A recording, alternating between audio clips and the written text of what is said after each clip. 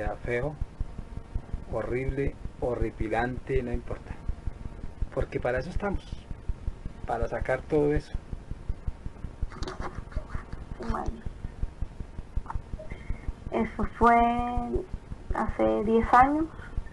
Sí, hace 10 años. Cuando estaba como que fue mi, mi primer novio, ¿no? Alfonso. Sí. Sí.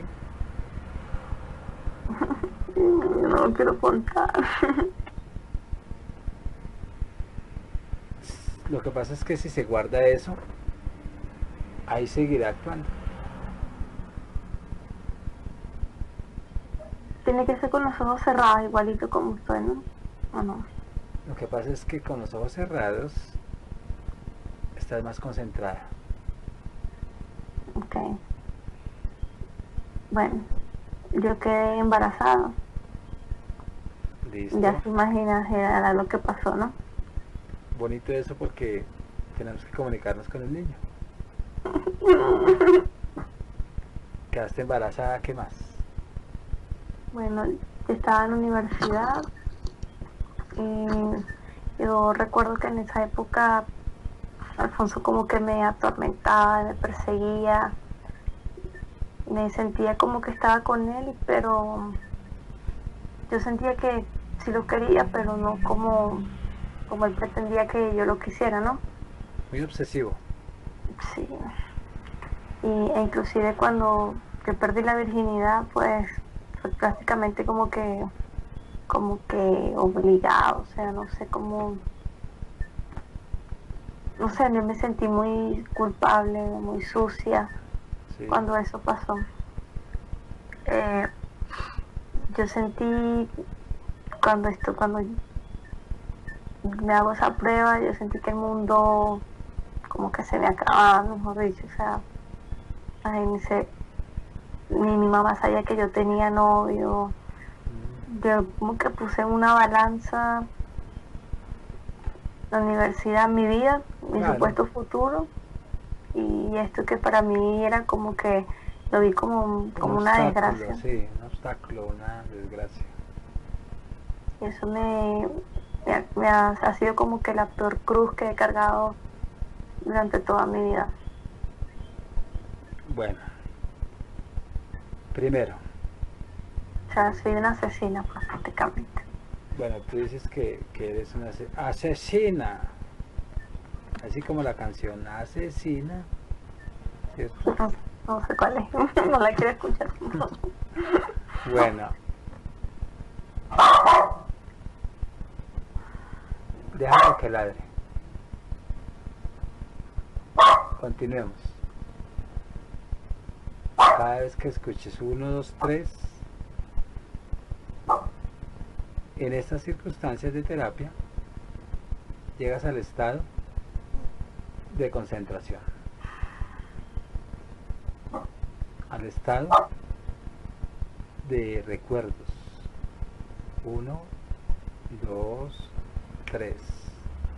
Al estado de alegría porque vas a sanar todo esto. 1, 2, 3. Y te lleva a estados de relajación profunda. 1, 2, 3. A estados de tranquilidad. 1, 2, 3. Vamos a elaborar toda esta parte de hace 10 años.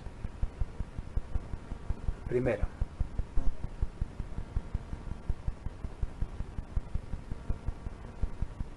¿qué aprendes con esta experiencia? Con... De hace 10 años. De la parte del aborto, hablemos más del aborto. Pues que fui, fui muy egoísta, inmadura, irresponsable. O sea, no aprendiste nada bueno. O sea, O mm, más bien a reconocer, o que, que egoísta, irresponsable. O sea, que eso fue, el- reconozco todo lo que fui en ese momento. Ah, bueno. Fuiste egoísta, irresponsable, inmadura, ¿qué más? Inhumana, Inhumana, fría, fría, calculadora, calculadora, mm, premeditada, hasta manipuladora, creo. manipuladora, listo. Muchas cosas. Ahora, tu niño tendría 10 años, Nueve. 9 años en Venezuela. ¿Qué piensas del niño mm, viviendo esa experiencia en Venezuela? mm, que estuvies, que si estuviese vivo aquí en Venezuela, Sí. ¿Qué preferirías? ¿Que él se haya ido? Él se fue porque también no quería estar. O sea, empecemos a entender eso. No fue por tu culpa. Él no quería estar y el universo lo escuchó y le dio los medios para que se fuera. porque, pero o sea, que tomó la decisión fui yo. Alfonso quería, No. le contó a su papá. Eso es, lo Inclusive que, eso es lo que tú crees. La decisión no es tuya. El niño no quería nacer porque sabe cómo estabas tú y cómo está Venezuela, porque es que tú transmites todo, toda esa información a él. Y el universo se encargó de darle respuesta a través de tu decisión y a través de tantas cosas que tú viviste. Yo pienso que si él estuviera conmigo, mi vida sería otra.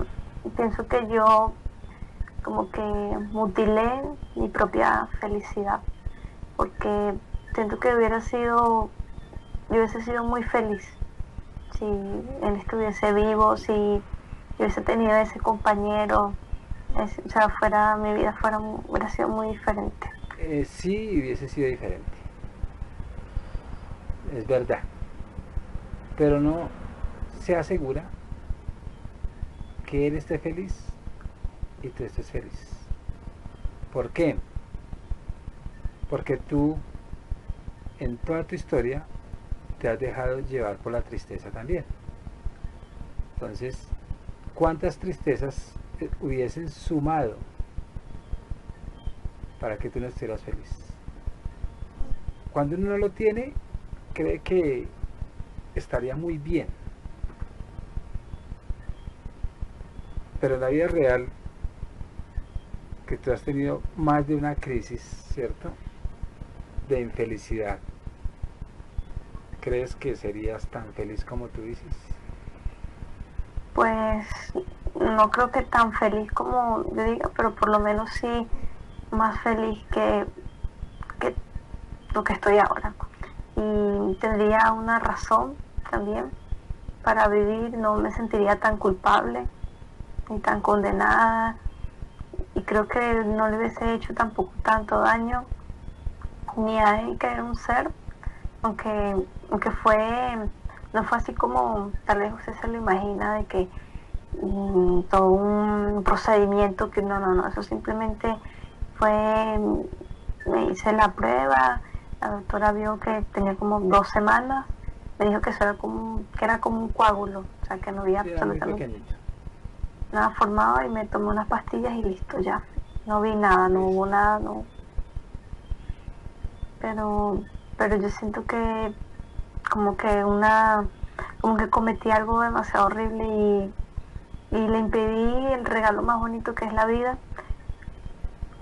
Y justamente alguien que venía de mí, un ser que el que quise mucho, o sea, fue mm, algo terrible, terrible para mí. Piensa si tú querías era extender el amor de él que no te daba a través de tu hijo,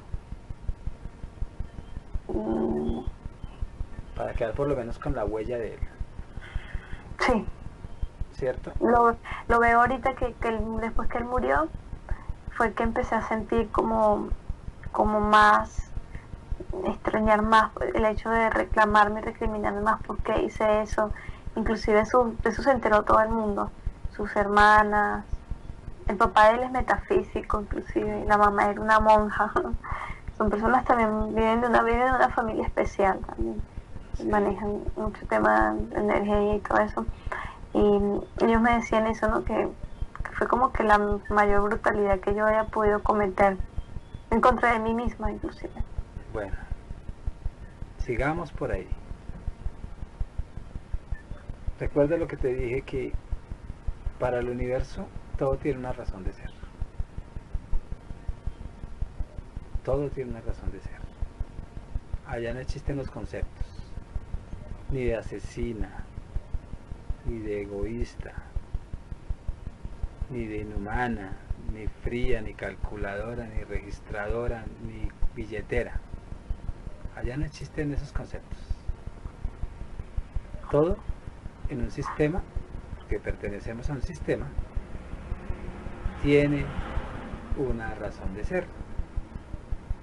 Sino que nosotros, a través de construcciones conceptuales, no entendemos el sistema, el gran sistema. Porque estamos solamente viendo desde las ramas, no desde arriba. Entonces, todo lo que tú has hecho, que para el común es una barbaridad, tenía que suceder. Si tú fueras adivina y aún siendo adivina, no puedes dominar ese gran sistema, que es inteligente. Entonces, tienes mu mucha, mucho sentimiento de culpa en ti.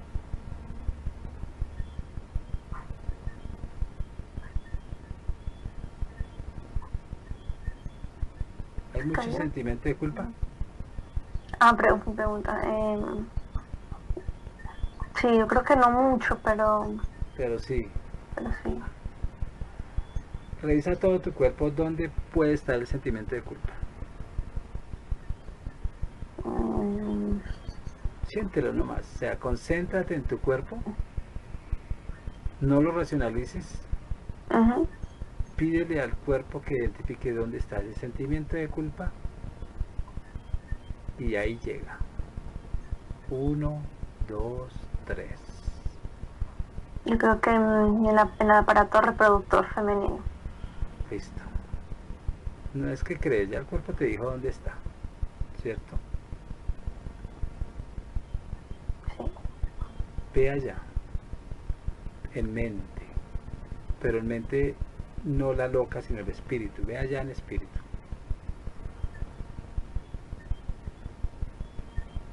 ¿Cómo es ese sentimiento de culpa? ¿En qué ha afectado tu aparato reproductor? Bueno, tengo varios poliquísticos. Muy em, bien. Mm, Mm.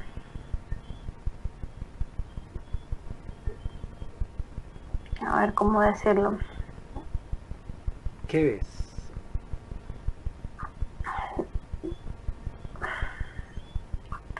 Como, como bloqueos. Mm. Sí.